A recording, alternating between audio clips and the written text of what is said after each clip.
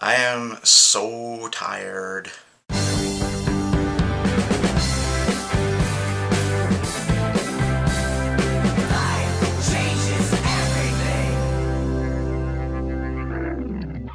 Last night I had a really good night with my pal Nate Bean.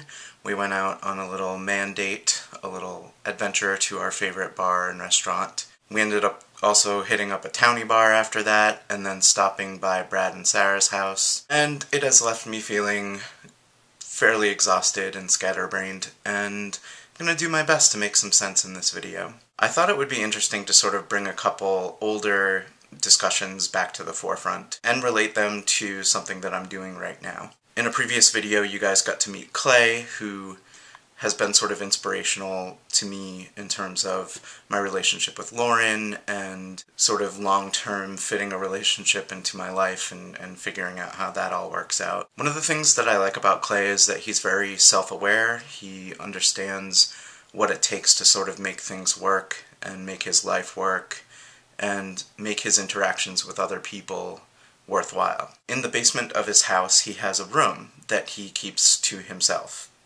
He refers to this room as his man cave. I may have mentioned this in a previous video. I think the man cave term is amusing and probably a little bit tongue-in-cheek, but it is important. The man cave represents something to him it represents his space. And I think that when you're in a relationship with someone, having your own territory is important. And I think that in terms of territory, there's sort of conceptual territory and then there's physical territory. Now, I've also talked about how in this household I don't have a whole lot of space, or we don't have a whole lot of space. Basically, everything is shared, and it can be a little chaotic trying to find space for everything that we own. Lauren and I have worked out ways to sort of share space and make it both of ours, and after seeing Clay's man cave, that sounds like a euphemism, I uh, decided that I wanted my own man cave in my apartment, and I have managed to finally establish one. Anyone who's listened to Demons at the Helm knows that I've had some deal of struggle with alcohol,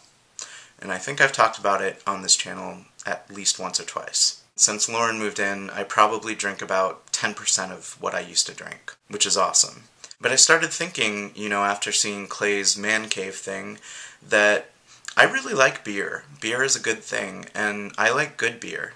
So maybe like a month ago, either Nate or Brad, I can't remember who, uh, referred me to a new liquor store that opened up in Woonsocket, just about a mile away from my house. Now, Woonsocket is not known for high culture, but this liquor store is seriously, I would say, the best or maybe the second best that I've ever been to in my life there are literally two full aisles of craft beers, microbrew stuff, stuff that I really didn't expect to be able to find in Rhode Island. A lot of stuff actually that Clay likes and that he introduced me to uh, over the course of a couple times in Portland. One of the things that Clay does is he buys like literally cases full of special things that he knows he won't be able to get and he just ages them. He keeps them in his man cave and he keeps them around for years. And when we were there last time, Justin and I were able to try a couple things that he'd been aging for literally like eight years. So I decided to dedicate a little section of our pantry to my little man cave, which currently is holding some beer that I'm going to be aging for like a year at least.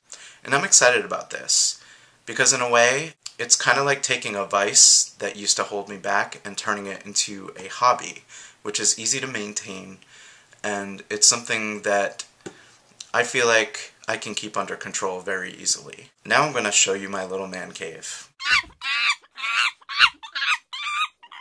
So I'd like you guys to comment on this video and tell me what's your space? What's your little section of the world that nobody else really has access to? What do you use it for and why is it important to you? Steph and Monica, I will see you tomorrow and I will see you next week. At some point next week, Patrick, Steph, Monica, and I will all be in the same place. That is exciting, and I cannot wait. I'm sure we'll have some collab videos for you guys next week.